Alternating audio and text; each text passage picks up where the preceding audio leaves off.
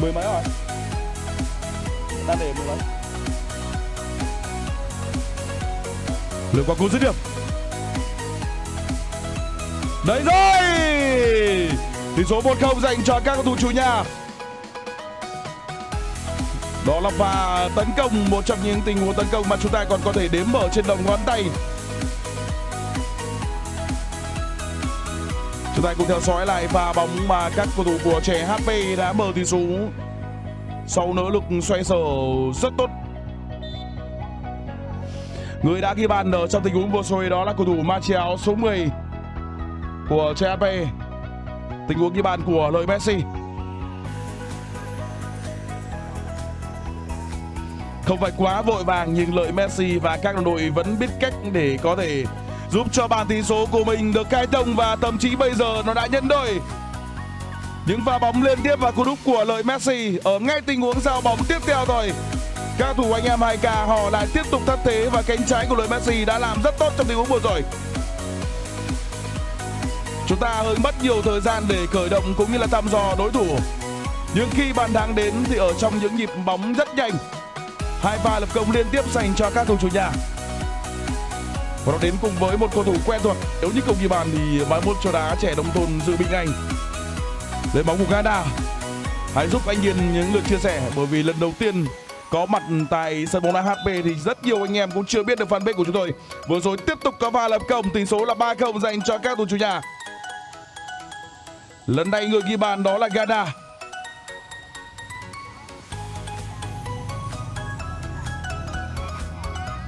Hãy cẩn trọng nếu như không muốn thế trận trở nên quá rắc rối đối với các cầu thủ của Jamaica khi mà hệ thống phòng ngự của họ đang tỏ ra quá hào phóng với những pha lập công mà đối phương có thể mặc. Trong ba pha lập công thì có cú đúc được thiết lập một cách rất nhanh. Cú dứt điểm cuối cùng cũng có pha lập công còn lại dành cho trận đấu này. Tỷ số được rút ngắn còn 1-3 dành cho các cầu thủ của Jamaica. Nếu như Chí Vĩnh luôn là một trong những nhân tố điều tiết lối chơi ở hành lang cánh trái, thì ở cánh phải sẽ là nơi để thực hiện những cú dứt điểm cuối cùng của những đợt tấn công. Và vừa rồi thì có vẻ như đó là tình huống ghi bàn của số 7 ra tường. Tỷ số đã rút ngắn 1-3. HP Phạm phản công lên của Chí Vĩnh hợp lý, vẫn còn. Dành cho anh em ca chị Vinh không bao bóng đã bị can thiệp ở trong góc gần và bóng xuất sắc dành cho thủ thành trẻ HP mặc dù là Chi Vĩnh tấn công, thực hiện rất nhiều đợt tấn công nhưng vừa rồi là một trong những pha bóng đầu tiên mà TV số 11 này có thể dứt điểm trong một tình huống dâng cao. Em hai ca. Đấy rồi Và cho khe nhưng không phải Rất nguy hiểm. Tuy nhiên, ở trong tay gia đình có lỗi. Lỗi thuộc về các cầu thủ của chủ nhà.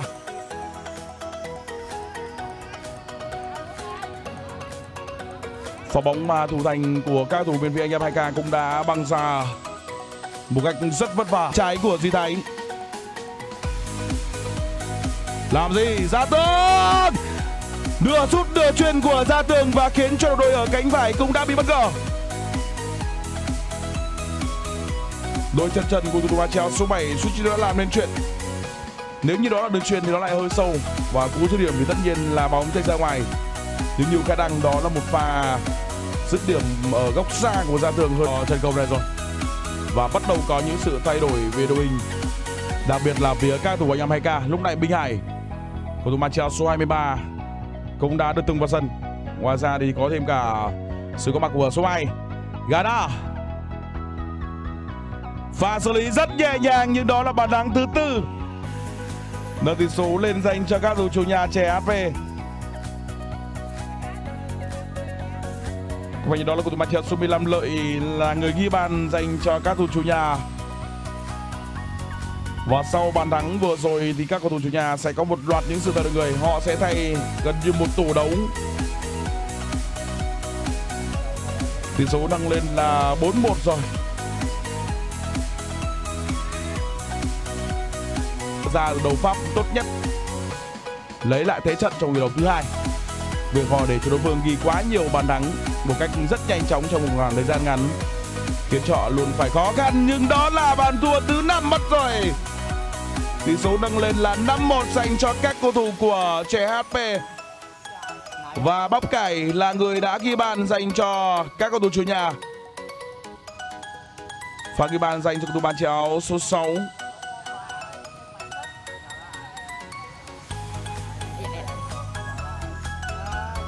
trong những bàn thắng đã ghi thì bắp cải là cầu thủ thứ tư ghi bàn cho các thủ trẻ HP bảo cải vẫn khẳng định được ừ, giá trị của mình mặc dù là có những sự cải thiện không hề nhẹ. Nếu như vừa rồi có bàn thắng cho các cầu thủ của anh em 2K thì đó cũng sẽ là một trong những trận ở một trong những sự khởi đầu tốt dành cho họ. Nhưng lúc này điều đó cũng đã đến. Tỷ số rút ngắn còn 2 năm. Quả bóng dành cho cầu thủ ma chéo số 11 Trí Vĩnh. Chí Vĩnh đã ở trong đội xuất phát ở trong hiệp 1 và đá rất nổi trội ở cánh trái. Nhưng sau đó phải rút ra khi xuống sức. Bây giờ thì Chí Vĩnh trở lại và ngay từ cách có bàn thắng, sự khởi đầu thuận lợi hơn so với hiệp đấu đầu tiên của cầu thủ này.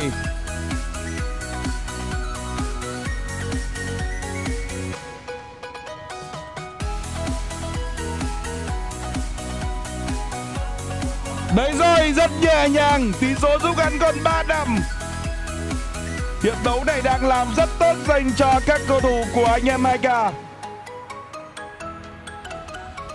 Chúng ta cùng theo dõi lại pha bóng mà Duy đã thực hiện dọc biên cùng với vị trí vĩnh hành lang cánh trái.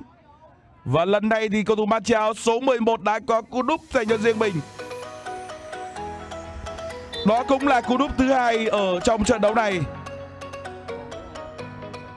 À, ba cầu thủ hàng rào cho các cầu thủ của anh em 2K cú đá nhẹ của Ghana. Ghana trịch mũi dày vẫn có quả đáp phạt thành công cho tình huống đá bồi của Ghana. Nâng tỷ số lên là 6-3 dành cho các cầu thủ trẻ HP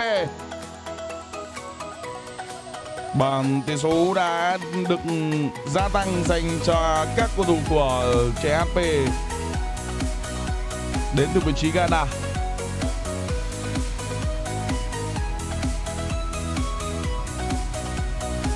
Đó cũng là bàn thắng thứ hai của Ghana trận đấu này.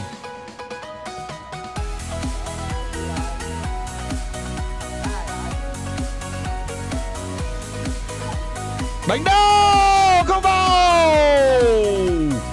Một pha đá biên ở sát cột xa. Rất đáng tiếc trong tình huống vừa rồi của các thủ anh em 2K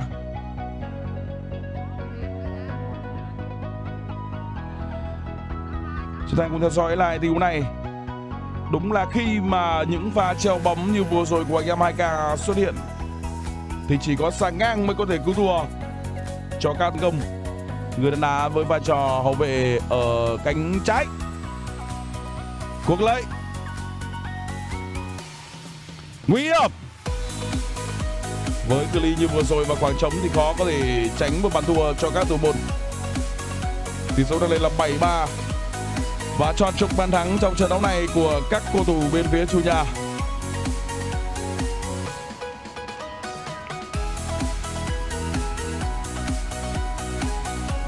hai đấu hai, nhưng các cầu thủ bên phía anh em 2K lại thất thế trong tình huống vừa rồi.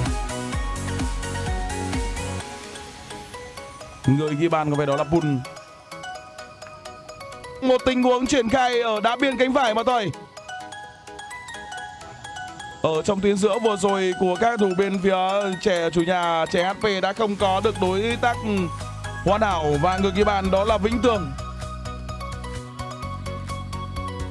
Một ca triển khai đá phạt góc rất nhanh của ca thủ bên phía anh em 2K và trung vệ rất trống. Không ai đeo kèm Vĩnh Tường trong pha bóng này. 47 đó là kết quả vừa được rút ngắn của anh em 2K Trung về Hùng cùng dâng cao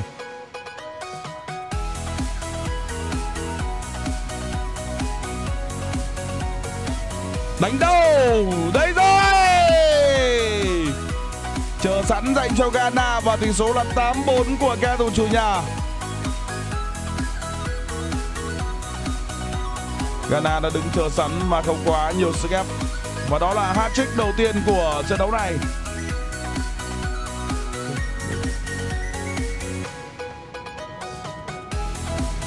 Và đánh đầu vào rất trống lồng dành cho các cầu thủ thể dụng tấn công của các đội chủ nhà.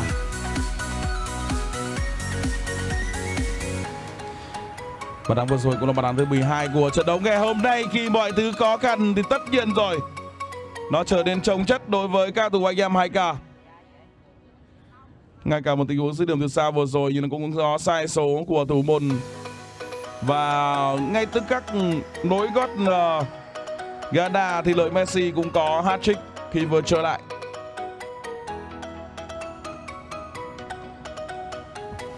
Liên tiếp là những pha ghi bàn mà các thủ bên phía chủ nhà họ thực hiện một cách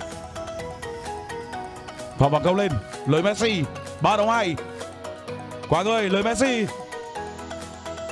Cơ hội!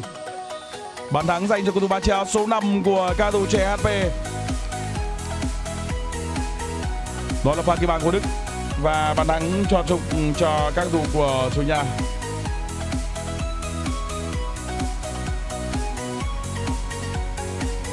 Và đúng như anh đã nói, những sự, những bàn thắng ở thời điểm này cho các thủ chủ nhà như là sự khẳng định, củng cố thêm bàn tỷ số của mình mà thôi. Tự làm khó chính mình. Sân còn mới cỏ hơi cao, vấp tí thôi. Và đến lượt thủ môn cũng có một pha làm bàn cho đối phương. Điều đó đã giúp cho Chí Vĩnh có bàn thắng thứ ba và hat-trick dành cho các cầu thủ ờ, của anh em 2K.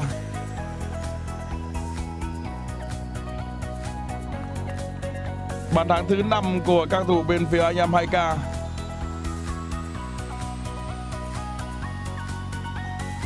Sau ngay tình huống mà Trung Vệ Hùng có pha bóng khá hài hước ở cánh phải, thì đến lượt thủ môn của trẻ ờ, dù nhà trẻ HP cũng có một món quà dành cho vợ Chi Vĩnh, để Chi Vĩnh có thể hoàn thành xong hat-trick của mình. Và phản cầu lên. Chi Vĩnh lựa có một cơ dành cho Chi Vĩnh và anh Nam vượt lên là cầu thủ ghi nhiều bàn thắng nhất ở trận đấu ngày hôm nay. Một trận đấu mặc dù không phải là quá thuận lợi của Chi Vĩnh cùng với những người đồng đội, nhưng bàn thắng vừa rồi nó cũng sẽ là phần nào đó an ủi cho những gì mà Chí Vĩnh đã thể hiện. Anh vượt lên là cầu thủ ghi nhiều bàn thắng nhất với một cú đá mặc dù đã có thể chạm vào chân của thủ thành bên phía thủ môn của chủ nhà, nhưng bóng vẫn có thể đi vào lưới dành cho Chí Vĩnh.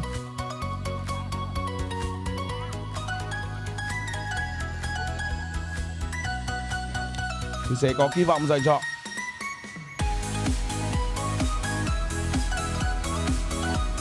khá nguy hiểm, không hiểu ý nhau có quá nhiều những sự chệch choạc ở trong hệ thống phòng ngự của các thủ chủ nhà trong cuối hiệp đấu. Phải chi ở phần đầu hoặc là ở giữa cuộc chơi họ dễ dàng như vậy. Tỷ số là 7-10. Không quay trọng tài cho đá thêm 15 phút nữa. Thì sẽ có làm nên chuyện dành cho các thủ anh em 2K. ngoài, và đến lúc này thì trọng tài cũng đã tội còi để kết lại diễn biến trận đấu của các thủ trẻ HP và các thủ anh em 2K ở trong buổi chiều tối ngày hôm nay tại sông đá HP Cấn Đức Long An. Tỷ số số chung cuộc là 17 dành cho các cầu thủ chủ nhà HP. Cảm ơn hai đội bóng đã mang đến trận đấu này, công hiến rất tuyệt vời và cảm ơn những sự đồng hành, tương tác theo dõi của quý vị khán giả. Và những khán giả nào chưa like fanpage thì hãy bỏ ra hai giây để ủng hộ chúng tôi bằng những lượt like, subscribe và chia sẻ để chúng ta gặp nhau lại ở những trận đấu tiếp theo. Còn bây giờ tôi là Nhiên và anh em ekip tuần này cho tạm biệt.